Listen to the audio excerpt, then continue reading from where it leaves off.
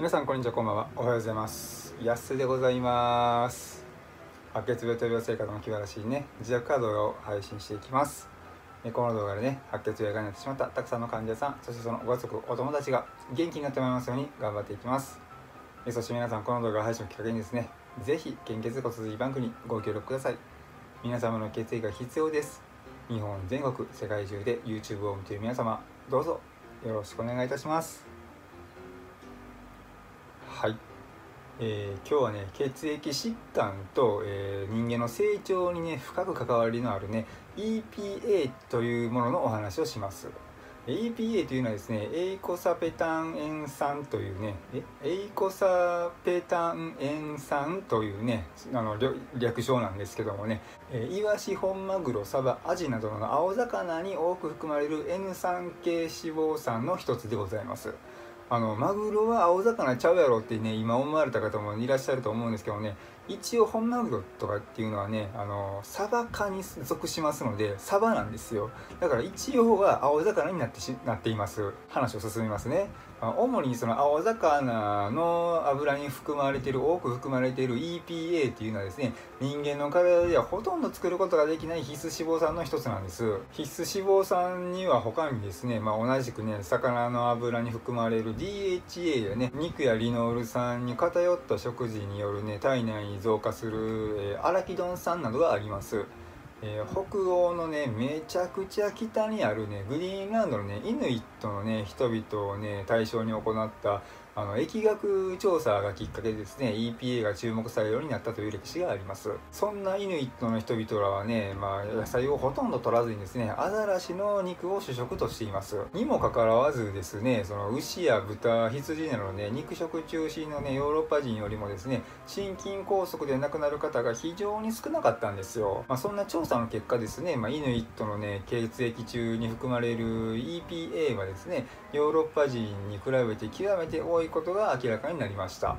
彼らが取っている EPA っていうのはですねアザラシなどが主食としている青魚に由来するものでした、ね、先ほども言いましたけどね EPA というのは人間の体ではね合成されにくいとされている必須脂肪酸です。あの血管とかね血液の健康維持に重要であってですね血液をサラサラにするであったりね中性脂肪を下げる血管年齢を若く保つ心臓病脳梗塞を防ぐ動脈硬化を防ぐなどの効果があります。でそれらっていうのはですねその油分の多い魚をねしっかり食べることによってね EPA をたっぷり取ることで、えー、そういった予防はねできます。あの鮮度が良くでね、まあ、脂の乗ったね今が旬の時期の魚にはですねより多くの EPA が含有されています。このことからですね魚の油には必ず EPA と DHA の両方が含まれていることが分かります。EPA や DHA がともにですね人の体の中ではほとんど作ることができない必須脂肪酸の一つです。大事なことやから何回も言いますけどもイワシやサバなどの青魚などの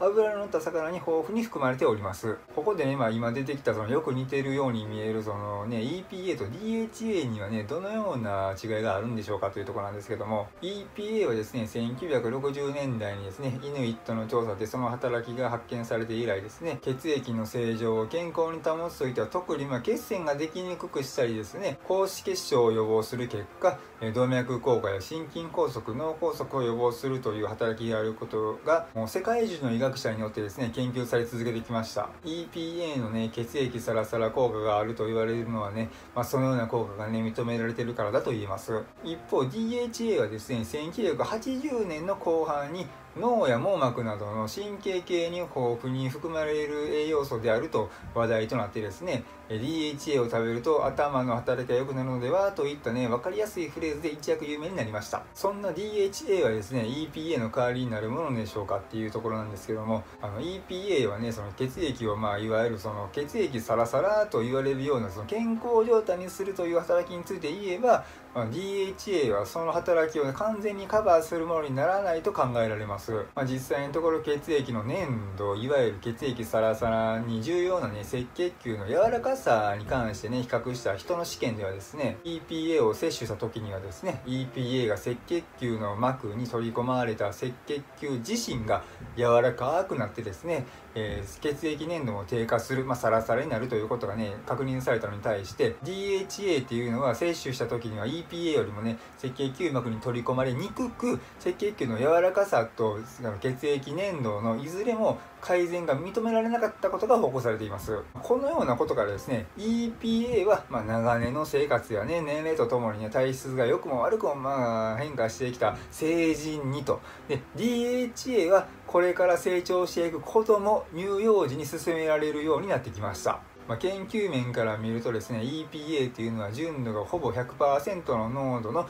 医薬品で研究が積み重ねられてきたためですね人が食べるとどうなるかということがはっきりと分かっています、まあ、それに対してこの DHA っていうのはですね100%の濃度のものを人が食べた研究はほとんどなくてですね、まあ、実際は EPA も混ざった魚油による、えー、魚の油による、えー、研究の結果が語られているというのが実情なんです。結果としてね EPA はね血液サラサラ効果すなわち血液のね血管の健康にさまざまな効果があることが分かっていますが DHA で確定的に言えるのは脳や神経に存在して母乳に含まれるというとこまでになります。すなわち現時点では体が出来上がった成人の健康には EPA えー、脳が作られる段階の子供や神経の発達段階の子供つまり成長期の乳幼児には DHA ということになります。そんな EPA、DHA の上手な取り方なんですけども食品から EPA や DHA を、ね、取得するとですね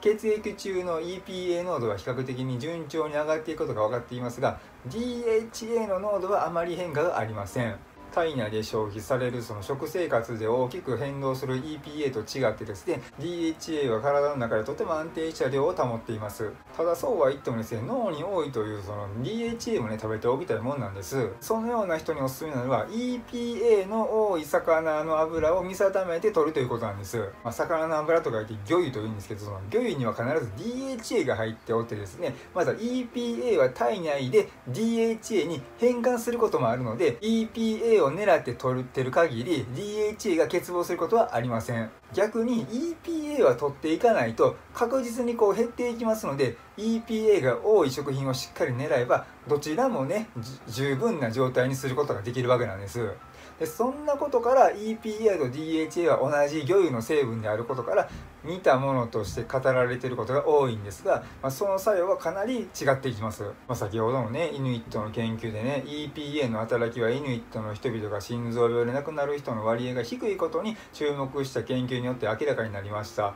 その DHA は1989年にイギリスでその日本の子供のね知能指数が高いのは、えー、魚油 DHA の影響ではないかという研究が発表されて話題を集めました。またね EPA と DHA の摂取後のね血液中の濃度の変化についてはですね EPA は摂取すれば増えて摂取をやめると減るという変動しやすいものであるということが分かっています。がしかしですね DHA は同じように摂取しても EPA のように増減が起こりにくいことが分かっています。そんな EPA はですねほぼ純度100%の医薬品が開発されたためですねそれを用いた数多くの人試験の結果 EPA を人が摂取した時の作用。つまりですね中性脂肪を下げたり血栓を予防したりする働きがとても明確になっています、まあ、これまでに蓄積された膨大なね人試験の結果をね背景にね EPA というのはほぼ純度100%の純品が高脂血症や閉塞性動脈硬化症の治療薬として使われています、まあ、それに対してね DHA というのは長い間人の試験ではねその EPA も含まれた魚油で行われ続けたためにですね DHA の研究結果として発表されたものが EPA のいわゆる血液サラサラ作用と混同されているものも散見されます。DHA について人について明確に分かっていることはですね人の脳組織にとても豊富に存在する脂質であるということです。すなわち脳が大きくなる時つまり子供にとってはとても重要なものであると考えられています。大人に対しての研究では純度の高い DHA で行われる研研究がここ数年で行われるようになってきました。大人に対する DHA の明確なね機能については今後の成果をね待ちたいところなんです。以上によってですね循環器系の健康維持のために欠かせないいわゆる血液サラサラ効果が明確な EPA は大人に、え、脳の構成成分である DHA は成長期の子供におすすめであると言えます。食生活で EPA を狙ってね EPA が多い食品をとっていれば DHA が欠乏することはありませんが DHA だけを狙ってとっていると EPA が不足するする恐れがあります。もう何回も言って申し訳ないんですけど、もうちょっとなんで、もうちょっと聞いてください。大人は EPA の多い食品を狙って取ることで、EPA、DHA の両方を満たしておくという取り方が賢明であると言えるでしょう。そんなね、大人には EPA という考え方はね、医学界からもね、大注目されています。EPA は血液血管の健康維持だけではなく体脂肪内臓脂肪などの代謝に密接に関係していることが多くの研究機関によって次々と明らかになってきています。EPA は体質改善をね促しですね様々な健康効果をもたらします。そして EPA で心臓病予防が明らかになっています。血液を固まりにくくするといった効果がありますが EPA には中性脂肪を下げる動脈硬化を防ぐ血液を固まりにくくするといった効果がありますけども日本で行われた EPA のね長期接種試験ではですね2005年にね心臓病大国のアメリカでですね、え、報告されてて、ね、注目された結果があります、え、その試験の内容というのはですね血液の総コレステロール値がね 250mgdl 以上のえ、高脂血症の人でコレステロールを下げる薬を飲んでいる約2万人を対象に行われました。そしてその対象者の半分の約1万人にはですね EPA を毎日併用してもらってですね EPA を併用しない群と EPA を併用しない人たちその心臓病の発症率の違いを5年間続けて追跡したものです、えー、結果はですね EPA を併用した人ではコレステロールを下げる薬だけを飲んでいた人に比べて心臓病の発症率が19%も低いというものでした。魚を食べることの大切さ EPA をしっかりとるための大切さが改めて確認された試験としてね価値のあるものであったと言えます。もう素晴らしいですよねほんまにね。魚を食べるだけでこのような効果があるのでね毎日食べたいぐらいですよ。まあ、毎日食べてもいいんですけどね、魚やからね。あの朝ごはんに焼き魚が出てくるというのもですね、まあ、朝から魚を食べることで、このような効果が一日の始まりから期待できるということになりますのでね、まあ、素晴らしいことですよ。それにさっきも言いましたけど、そのイギリスでのね、日本の子供のその知能指数が高いと注目されるように、その子供にとってもね、いい食事ということになりますよね。あの朝はトーストにバターを塗ってサラダを食べますというね洋食派の人でもですねもう可愛いお皿に焼き魚を置いてねもうしれっと出したらねあ洋食やんってなってねあのお魚が嫌いな子供でもねペロッと食べるかもしれませんね、まあ、ということでね皆さん魚を食べましょう。青魚を食べましょうというお話でございました。今日は以上です、えー、最後まで見ていただきましてありがとうございました。この動画がいいと思いましたらグッドボタンとチャンネル登録をよろしくお願いします。そしてねこの動画このチャンネルがよりたくさんの方々に届きますことを願っております。本日もご視聴ありがとうございました。バイバイ。僕は元気です。